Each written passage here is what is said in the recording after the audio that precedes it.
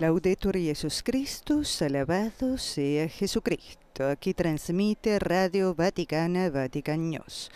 Amigos oyentes, estimados telespectadores, reciban el saludo cordial de Griselda Mutual hoy en los micrófonos y de Renato Martínez en la redacción con la asistencia técnica de Patricio Cipriari.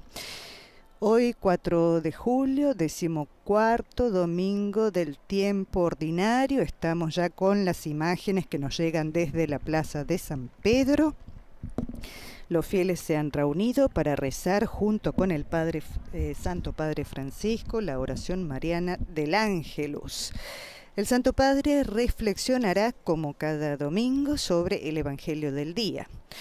Hoy San Marcos en el capítulo 6, versículos eh, del 1 al 6, nos habla de la incredulidad de los habitantes de Nazaret cuando Jesús predicaba en la sinagoga. Ellos no negaban la sabiduría de Jesús, sus milagros, incluso se mostraban sorprendidos por todo eso, pero discutían sobre su origen primero, decían trabajaba como carpintero, como cualquier otro, habría crecido entre ellos, conocían a su madre, a sus hermanos, a, sus vecinos. ¿Qué sabiduría es esta que le ha sido dada? Y esos milagros hechos por sus manos, se preguntaban. Partían de los conocimientos que tenían sobre él, pero se encerraban en esos eh, conocimientos, se escandalizaban a causa de él. Damos la bienvenida a ustedes y saludamos y agradecemos, por supuesto, a las emisoras conectadas con nosotros que difunden esta señal. Saludamos en América Latina a Radio Caritas, Universidad Católica de Paraguay, a Radio San Camilo en Perú, a Radio Marién y también a Radio María de la Alta Gracia en República Dominicana, a Radio Vicentina en Santiago de Chile, a Radio ACD, la emisora de Cristo y María en México, a Radio María en Guatemala, en El Salvador y en Panamá.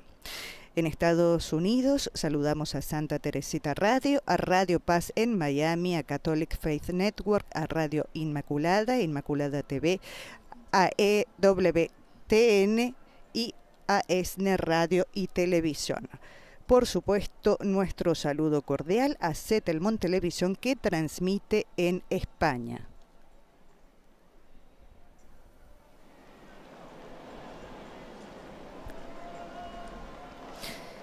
Hacemos eh, presentes, amigos oyentes, que la única cita eh, pública del Papa Francisco durante este mes de julio será la del Ángelus Dominical, pues como en los años anteriores las audiencias generales de los miércoles se suspenden durante el mes de julio por las habituales vacaciones de verano.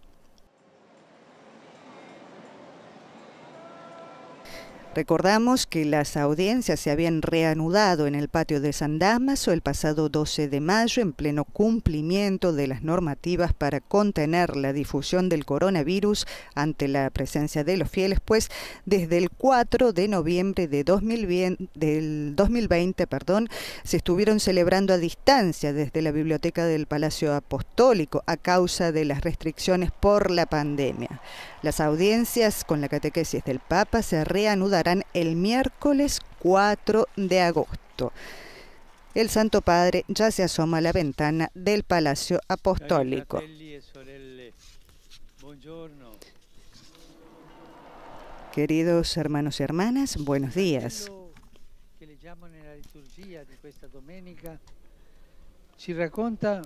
El Evangelio que leemos en la liturgia de este domingo nos habla de la incredulidad de los paisanos de Jesús. Él, después de haber predicado en otros pueblos de Galilea, vuelve a Nazaret, donde había crecido con María y José. Y un sábado se pone a enseñar en la sinagoga. Muchos escuchándolo se preguntan, ¿de dónde le viene toda esta sabiduría? ¿No. Es el carpintero, el hijo de María y hermano de Santiago, José, Judas y Simón, de nuestros vecinos de casa que conocemos bien? Delante de esta reacción, Jesús afirma una verdad que ha entrado a formar parte también de la sabiduría popular. Non è disprezzato se non nella sua patria, tra i suoi parenti e in casa sua. Un profeta solo en su patria, entre sus parientes y en su casa carece de prestigio. Lo decimos muchas veces. Detengámonos en la actitud de los paisanos de Jesús.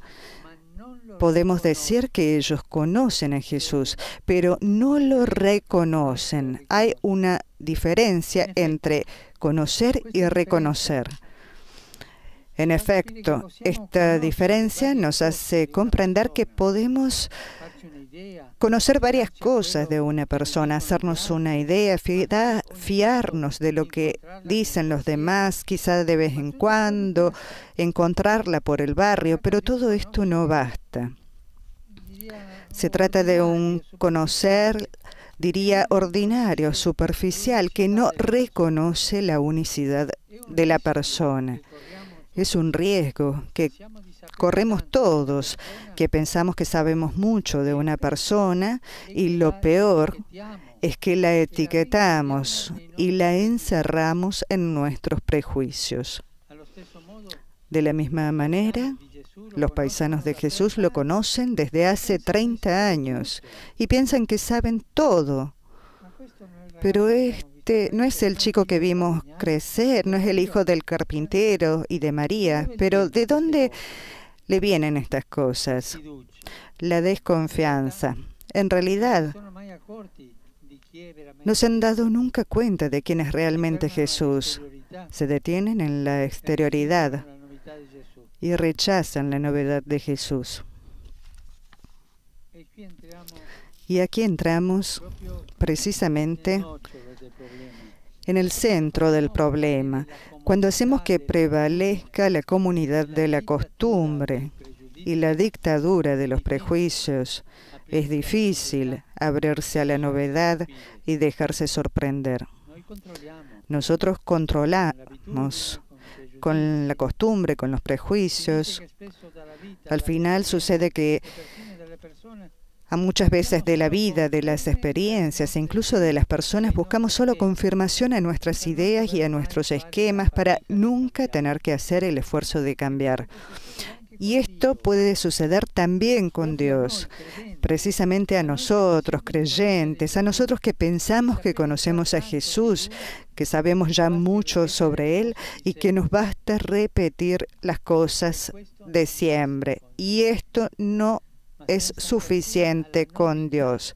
Sin apertura a la novedad y sobre todo, escuchen bien, apertura a las sorpresas de Dios, sin asombro, la fe se convierte en una letanía cansada que lentamente se apaga y que se convierte en una costumbre, una costumbre social. He dicho una palabra, el asombra. ¿Qué cosa es el asombro? El asombro precisamente cuando sucede el encuentro con Dios. He encontrado al Señor, pero leamos el Evangelio Tantas veces la gente que encuentra a Jesús y lo reconoce siente el asombro. Y nosotros con el encuentro con Dios debemos ir por este camino, sentir el asombro. Es como el certificado de garantía que ese encuentro, de que ese encuentro es verdadero, no es costumbre. Al final, porque los paisanos de Jesús no lo reconocen y no creen en Dios. Pero ¿por qué? ¿Cuál es el motivo? Podemos decir, en pocas palabras, que no aceptan el escándalo de la encarnación, no conocen este misterio de la encarnación, no aceptan el misterio, no lo saben, pero el motivo es inconsciente y sienten que es escandaloso, que la inmensidad de Dios se revele en la pequeñez de nuestra carne, que el Hijo de Dios sea el Hijo del carpintero, que la divinidad se esconde en la humanidad, que Dios habita en el rostro, en las palabras, en los gestos de un simple hombre. He aquí el escándalo, la encarnación de Dios, su concreción, su cotidianidad. Y Dios se hizo concreto en un hombre, Jesús de Nazaret, se hizo compañero de camino, se hizo uno de nosotros. Tú eres uno de nosotros, digan a Jesús. Es una hermosa oración. Cada uno de nosotros, a cada uno de nosotros Él nos entiende, nos acompaña, nos perdona y nos ama tanto. En realidad es más cómodo un Dios abstracto y distante que no se entromete en las situaciones y que acepta una fe lejana de la vida, de los problemas de la sociedad. O nos gusta creer en un Dios de efectos especiales que hace solo cosas excepcionales y da siempre grandes emociones. En cambio, queridos hermanos y hermanas, Dios se ha encarnado, Dios es humilde, Dios es tierno, Dios es escondido, se hace cercano a nosotros, habitando la normalidad de nuestra vida cotidiana. Y entonces sucede a nosotros como a los paisanos de Jesús. Corremos el riesgo de que cuando pase no lo reconozcamos. Vuelvo a decir, aquella bella frase de San Agustín. Tengo miedo del Señor cuando pasa. Agustín, ¿por qué tenía miedo? Porque tenía miedo de no reconocerlo. Miedo del Señor cuando pasa. No lo reconocemos, nos escandalizamos de Él.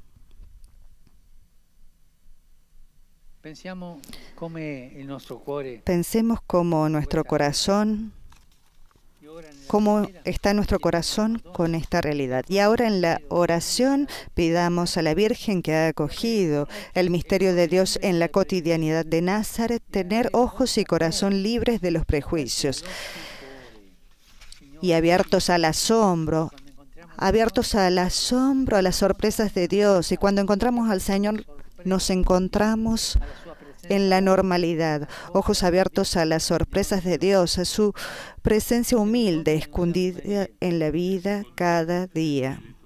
Ave María, gracia plena, Dominus tecum, benedicta tui mulieribus et benedictus fructus ventris tui, Iesus. Sancta Maria, Mater Dei, ora pro nobis peccatoribus, nunc et in hora mortis nostre. Amen. Ecce ancilla Domini. Fiat mi secundum verbum tuum. Ave Maria, gracia plena, Dominus tecum, benedicta tui mulieribus et benedictus fructus ventris tui, Iesus. Sancta Maria, Mater Dei, ora pro nobis peccatoribus, nunc et in hora mortis nostre. Amen. Et verbum caro factum est. Et habitavit in nobis. Ave Maria, gracia plena, Dominus tecum, benedicta tui mulieribus et benedictus fructus ventris tui, Iesus. Sancta Maria, Mater Dei, ora pro nobis peccatoribus, nunc et in hora mortis nostre. Amen. Ora pro nobis Santa Dei Genitrix. Digni efficiamur promissionibus Christi. Grazie Tua, in questo Domine, mentibus nostris infunde, ut angelo annunziante, Christi Fili Tui, incarnazione coniovimus, per passione eius et crucem, a resurrezione gloriam perducamur, per Christum Dominum nostrum. Amen. Gloria Patri et Filio et Spiritui Sancto. Sicut erat in principio et nunc et semper et in saecula saeculorum. Amen. Gloria Patri et Filio et Spiritui Sancto. Sicut erat in principio et nunc et semper et in saecula saeculorum. Amen. Gloria Patri et Filio et Spiritui Sancto. Sicut erat in principio et nunc et semper et in saecula saeculorum. Amen. Pro fidelibus defuntis, Requiem aeterna dona eis Domine. Et lux perpetua lucia Deis. Requiescant in pace. Amen. Sit nomen Domini benedictum. Ex hoc nunc et usque in saeculum. Aiutorium nostrum in nomine Domini. Qui fecit celum et terram. Benedicat vos, omnipotens Deus, Pater, et Filius, et Spiritus Sanctus. Amen. Amen.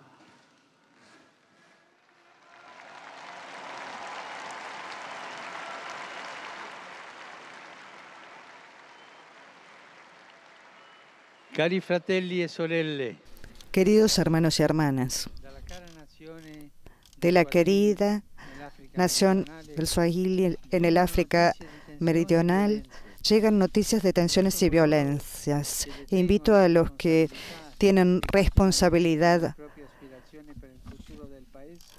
de cuantos manifiestan las propias deseos por el futuro del país, de promover el diálogo, la recomposición pacífica de las diversas posiciones. Dal Me complace anunciarles que desde el 12 al 15 de septiembre próximos, si Dios quiere, me dirigiré a Eslovaquia para realizar una visita pastoral. Están contentos los eslovacos. Por la tarde,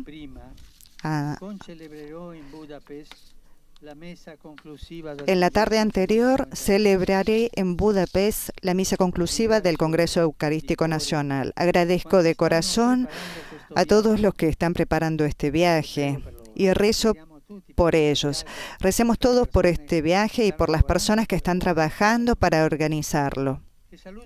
Y saludo con afecto a todos ustedes, romanos, peregrinos de Italia, de varios países, especialmente a los eslovacos. En particular saludo a los grupos de fieles de Cosenza, Crotone, Morano Calabro, Morano Calabro y Ostuni. a todos les deseo un feliz domingo y por favor no se olviden de rezar por mí. Gracias.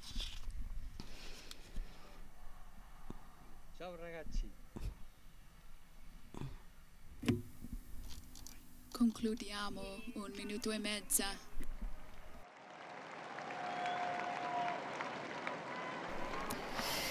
¿Por qué los paisanos de Jesús no lo reconocen y no creen en Él? ¿Cuál es el motivo? Podemos decir en pocas palabras que no aceptan el escándalo de la encarnación. Es escandaloso que la inmensidad de Dios se revele en la pequeñez de nuestra carne, que el Hijo de Dios sea el carpintero, que la divinidad se esconda en la humanidad, que Dios habita en el rostro, en las palabras, en los gestos de un simple hombre. He aquí el escándalo, la encarnación de Dios, su concreción, su cotidianidad. Amigos oyentes, hemos llegado al final de esta transmisión. Para todos ustedes un saludo cordial de Griselda Mutual en nombre de la redacción. Les agradecemos por haber estado en compañía con nosotros. Les recordamos visitar nuestro sitio web vaticanews.va donde en breve publicaremos las palabras del Papa Francisco. Que tengan un feliz y sereno domingo. Alabado sea Jesucristo, laudetur Jesus Christus.